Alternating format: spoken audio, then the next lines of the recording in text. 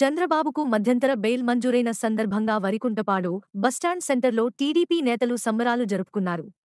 ఈ సందర్భంగా చంద్రబాబుపై ఎన్ని కుట్రలు పన్నినా నిజం గెలిచి బయటకు వచ్చాడని టీడీపీ మండల కన్వీనర్ చంద్ర మధుసూదన్ రావు అన్నారు. మరికొద్ది రోజుల్లో న్యాయం నిలిచి నిజం గెలిచి కడిగిన ముత్యల్లా బయటకు వస్తాడన్నారు. అనంతరం బాణాసంచాలు కాల్చి స్వీట్లు పంచుకుని సంబరాలు జరుపుకున్నారు. ఈ కార్యక్రమంలో ఆ పార్టీ నేతలు కార్యకర్తలు పాల్గొన్నారు.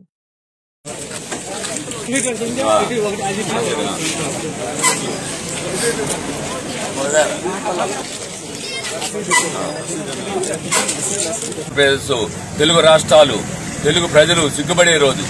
ఏ రాజకీయ నాయకుడు ఎంతో మంది నాయకులు ఉన్న ఒక ఒక విజన్ ఉండే నాయకుడు చేసి కొన్ని లక్షలాది మందికి ఉద్యోగాలు ఇచ్చిన సృష్టికర్త అవుతాను ఒక హైదరాబాద్ ఈ రోజు డెవలప్మెంట్ ఏంటంటే ఒక సంస్థగా తయారు చేసి హైటెక్ సిటీ తెచ్చి కొన్ని హైదరాబాద్ ఈ రోజు రామారావు పది లక్షల మంది ఒక అతను సంఘీభావంగా సుమారు లక్ష యాభై వేల మంది సంఘీభావం తెలిపారు హైదరాబాద్లో పార్టీ పరంగా. అతనికి తెలుగుదేశం వైసీపీ పరంగా ఒక ప్రతి ఎంప్లాయీ ఈ రోజు మేము ఈ రోజు లక్ష్యంగా ఉన్నామంటే ఈ రోజు లక్ష యాభై వేలు రెండు లక్షల రకరకాల జీతాలు అతని వల్ల లబ్ధి పొందామని ఉంటే అలాంటి వ్యక్తిని ఈ రోజు ఏమి కేసు లేకుండా నిర్బంధించే యాభై రెండు రోజులైంది. కింద కాంచి పై దాకా బెయిల్ రానికుండా ఒక పైశాచిక ఆనందం. మరి నేను జైల్లో ఉన్నా కాబట్టి అందరూ జైల్లో ఉండాలా? తెలుగు అసలు ఇది. మన తెలుగు జాతికే సిగ్గుసేటు. అలాంటి వ్యవస్థలు మేనేజ్ చేసి జీవితం ఒక సైకో ఆనందం పడుతున్నాడు. కానీ ఈరోజు తాత్కాలిక బెయిల్ వచ్చింది.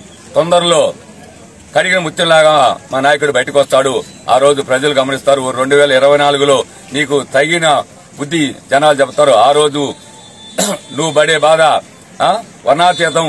కానీ నిన్న ఈ రోజు బెయిల్ వచ్చిందో లేదో నిన్న ఒక సారాయి మద్యం కేసు అని. అసలు ఈ మద్యం అనే వాళ్ళు తాగి ఆంధ్రప్రదేశ్ అతలాకుతలైపోయింది కిడ్నీలు పోయి రకరకాల లివర్లు పోయి ప్రజలు హాస్పిటల్ చూపించుకోలేబండు చీపులు యాభై రూపాయలు ముప్పై రూపాయలు చీపు లెక్కని రెండు వందల రూపాయలు పెట్టి నీ ఇష్టం వచ్చిన కంపెనీలు ఏ కంపెనీలో తెలియకుండా నీ ప్రైవేట్ కంపెనీలు నువ్వు తయారు చేసుకుని నువ్వు బెనామీ కంపెనీలు పెట్టుకొని నేను చేసి ఉంటా కదా పక్కోడు కూడా చేసినాడని చెప్పి ఏమి సంబంధం లేని కేసు రోజు ఒకటి చుట్టిస్తున్నావు. కాబట్టి భవిష్యత్ తరాలు అన్ని ఆలోచించి రేపు మండల ప్రజలు కానీ అలాగే యాభై మూడు రోజుల నిరసన కార్యక్రమం అందరూ సంఘీభావం తెలిపిన వరకుండ ప్రజలకి జనసేన నాయకులకి తెలుగుదేశం నాయకులకి ప్రతి ఊరు వారిగా గ్రామ అందరికీ ధన్యవాదాలు తెలుసుకుంటూ భవిష్యత్తులో కూడా అందరూ కలిసికట్టుగా ప్రతి గ్రామంలో సంఘటితంగా పోరాటం చేయాలని మనస్ఫూర్తిగా కోరుకుంటూ సెలవు తీసుకుంటున్నాను